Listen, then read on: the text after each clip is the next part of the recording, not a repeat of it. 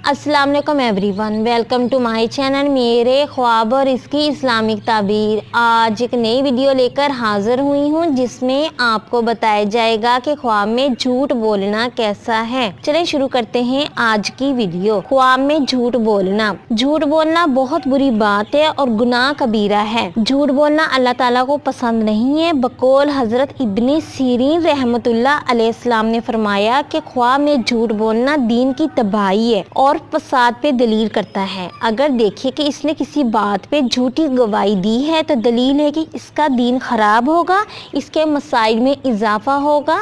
अगर साहिब ख्वाब देखिए कि वो ख्वाब में झूठ बोलता है तो वो बेदारी में जलील और ख्वार होगा और लोग इसकी बुराई करेंगे। नीज उसे किसी भी किस्म की मुश्किल का सामना करना पड़ेगा। उम्मीद करती हूँ कि अल्लाह तबारक ताला आपका ख्वाब आपके हक में बेहतर करे और उम्मीद करती हूँ कि आपको ये वीडियो अच्छी लगी होगी तो इस वीडियो को लाइक, शेयर एंड सब्सक्राइब करें। अगर कोई सवाल करना हो, इस वीडियो के मतलब या किसी भी ख्वाब की कोई भी ताबीर मालूम करना चाहते हैं तो नीचे कमेंट्स में कर सकते हैं। Thanks for watching and spotting video Allah हाफिज़।